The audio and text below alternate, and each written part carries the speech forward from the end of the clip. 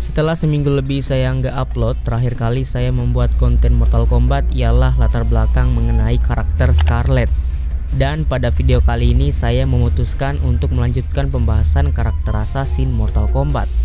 Karena ini juga sesuai requestan dari teman-teman semua. Mohon maaf juga kalau thumbnail konten seperti ini kurang ramah bagi kalian yang sedang berpuasa. Karakter assassin selanjutnya yang akan kita bahas adalah Jade sama seperti Kitana karena Jade juga berasal dari Edenia, namun dirinya lebih sering berada di dunia luar. Jadi bagaimanakah latar belakang dari karakter Jade? Inilah dia pembahasan mengenai karakter Jade.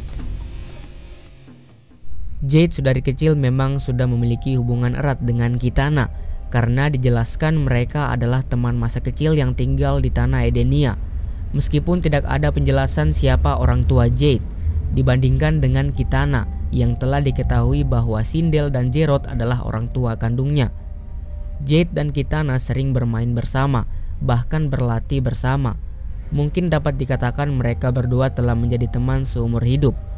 Dari kecil mereka menanamkan keinginan menjadi petarung hebat, yang suatu saat nanti dapat digunakan untuk membela diri ataupun melindungi tanah kelahiran mereka dari siapa pun yang ingin merusaknya.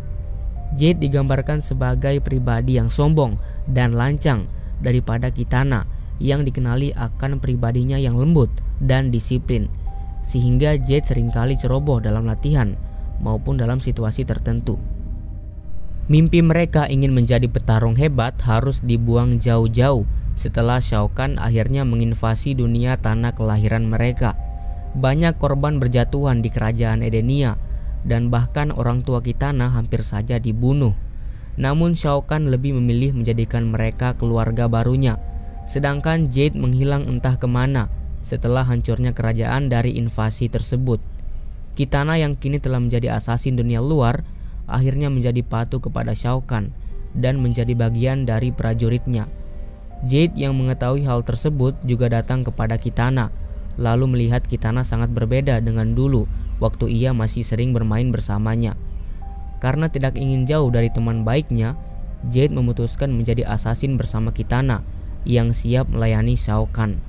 Sehingga saat itu mereka menjadi karakter antagonis dari yang awalnya mereka adalah netral. Setelah ribuan tahun berada di bawah kekuasaan Shao Kahn, Kitana akhirnya menyadari bahwa Shao Kahn lah yang telah membantai tanah kelahirannya, sehingga dia berpaling ke pihak alam bumi dan mengkhianati Shao Kahn. Hal itu membuatnya menjadi incaran prajurit Shao Kahn lainnya atas pengkhianatan, termasuk Jade yang diperintahkan untuk menangkap Kitana lalu membunuhnya. Namun tentu saja Jade tidak ingin melakukannya. Itu semua karena Kitana telah dianggap sebagai bagian dari keluarganya. Jade kemudian ikut berpaling dan pergi mencari di mana Kitana melarikan diri. Kini dia menemukan Kitana yang bertujuan ingin mengembalikan keindahan Endenia setelah hancur berantakan akibat tindakan Shao Kahn. Jade turut bersedih karena itu juga merupakan tanah kelahirannya dan tempat di mana dia dibesarkan.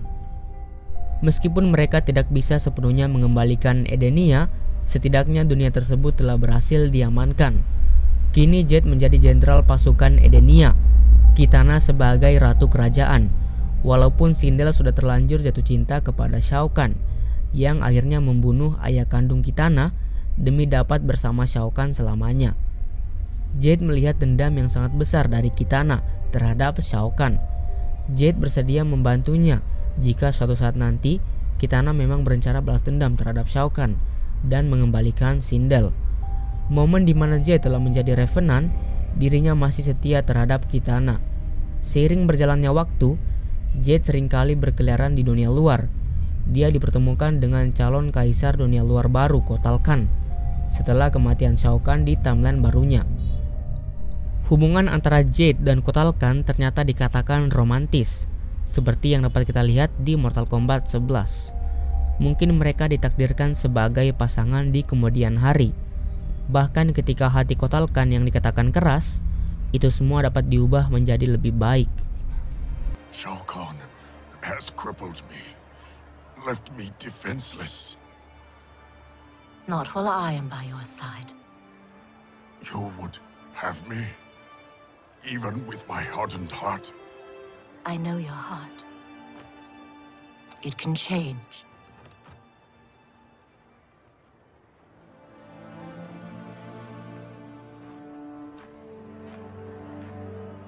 It is over, Kotal Khan. The throne is secure. Thank you. Baraka, Shiva, I have not served your peoples well. Yet, still you aided me. I will not forget. We don't need charity. We will share in Outworld's rule. That is up to her now. What? The throne is yours. You have united Outworld, Kitana Khan. She's now officially out of your league. I am humbled, Kotal. Jade selanjutnya menjadi prajurit dunia luar, namun tidak melupakan bahwa dia adalah jenderal pasukan Edenia. Dia tetap berada di pihak Kitana dan Kotalkan dalam memperjuangkan kebaikan. Oke guys, itulah dia pembahasan mengenai karakter Jade. Semoga bapak kau jago pepeng shoot.